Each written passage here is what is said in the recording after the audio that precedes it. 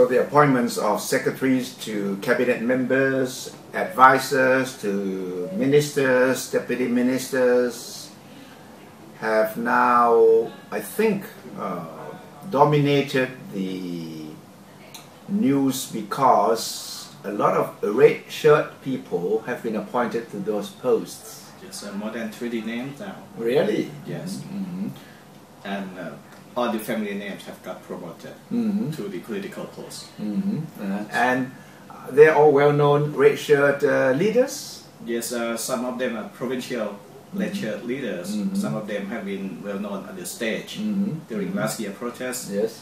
And some of them just um, are well known advocates of the red shirt movement. So it's quite controversial. Right. Um, uh, some, some of them also have a lot of uh, legal cases on their back as well. Ah. So uh, this, uh, in, in, in, in that sense, it's quite controversial Mhm. because you have people who have legal problems Mhm. coming to uh, to serve in the political positions. hmm hmm Any official explanation from the prime minister as to why has this happened? Uh, she said she doesn't look into any color when it Mhm. comes to uh, making this appointment. Mm-hmm. And he said a lot of red shirt people are capable hmm persons who should not be overlooked when she Mhm. made the appointment, hmm which I agree. I Mhm. mean, uh, it makes logical sense for the Pheu Thai government to hmm to bring on their supporters. Because after all, the red shirt people were a very important factor in the campaigning for Pheu Thai Party, Yes. right? Mhm. Because in fact, the red shirts were the cheerleaders for the Pheu Thai Party. They're the main supporters. Mhm. But then those who uh, are standing trials or have been charged with you know serious uh, accusations, uh, official charges, uh, may be more difficult to explain. Yes. Mhm. Uh, I agree with uh, bringing in supporters to serve with you Mhm. because you will not want to uh, make your enemies your advisor or secretaries. Yes. But uh, uh, I- see a little bit of a problem Mhm. with making the people with the legal trouble Mhm. uh, into the positions. Uh, you, uh, as, as for the people who have been taking part in the red shirt uh, rallies, I have no problem with that.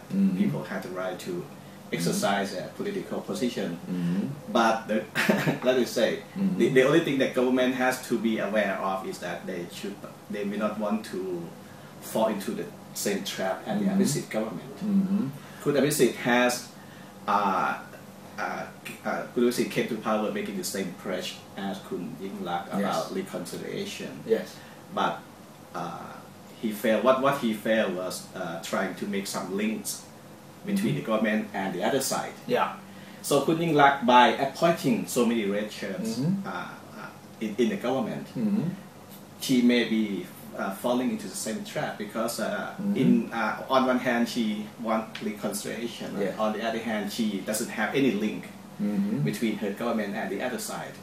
That's right, but you don't expect uh, Kun Yingluck to appoint ye- yellow shirts to be her uh, advisors in the uh, cabinet. Right, that, that, that would be uh, beyond imagination. Mhm. Uh, but somehow uh, having too many red shirts in Mhm. the government Mhm. may uh, blur Mhm. her uh, agenda or whatever. Yeah, it could. or- Yeah, it could invite criticism that if she is serious about national reconciliation, then appointing so many hardcore red shirt leaders to important political positions uh, would not send the right signal. Yes, maybe Kun Yingluck was thinking that okay, uh, I have made a cabinet lineup without any red shirt in it. Mhm, mhm. So Mm-hmm. politically, it's understandable Yes. to to to reward Mm-hmm. Mm-hmm. your political allies. I, I I mean I understand that. The only concern is that just just too many of them Yeah. at the moment. Also, for her, her own political survival, if she did not appoint red shirts to some of these political positions, then her government could be in trouble because Yes. the red shirt people will start uh, demanding that their support be rewarded one way or the other. Right, Mhm. exactly. So it's not easy for Kun Yingluck. At, at the same time, it's going to be very controversial and a lot of questions about national reconciliation, her determination to get all factions in the gov- uh, country together, trying to forget the past, trying to forge ahead without any baggage of the past, will become even more difficult now.